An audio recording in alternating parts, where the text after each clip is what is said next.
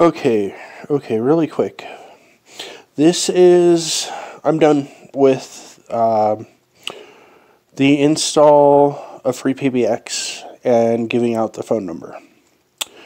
I'm doing this right after I recorded it, just so you guys know. Um, I'm in it. I'll be in it all night tonight and part of tomorrow. Um, something else I was going to say.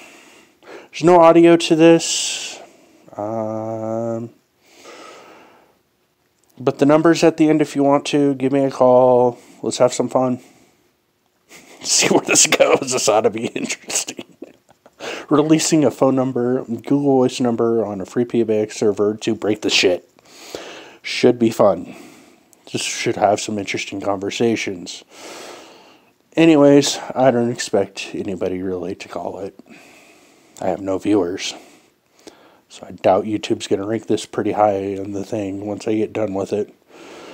Um, I'm editing the video right now. There is a phone number. It's an old phone number of mine. Please don't call the poor bastard or not bastard, poor lady, gentleman. Don't call him. It's a 385 number. I have an 801 number. I'm in Utah.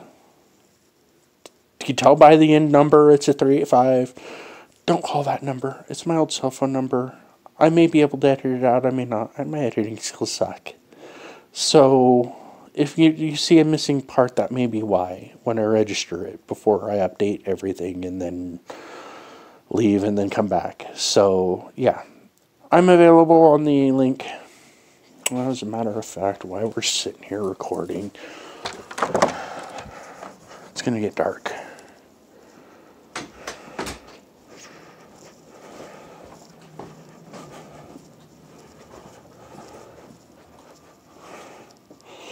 I'm on my secondary account.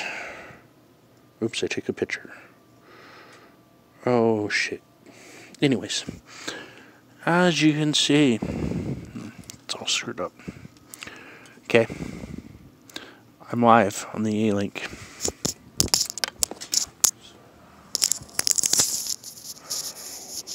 We'll see how the auto comes out of that. Maybe not.